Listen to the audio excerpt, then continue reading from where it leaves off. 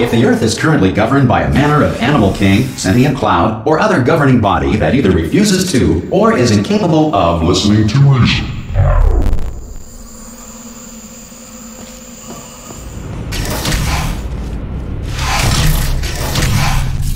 Hey, you made it! There should be a, a portal device on that podium over there.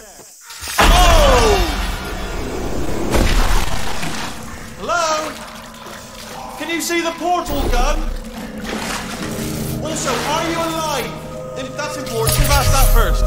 I'm, do you know what I'm going to do? I'm going to work on the assumption that you're still alive, and I'm just going to wait for you up ahead.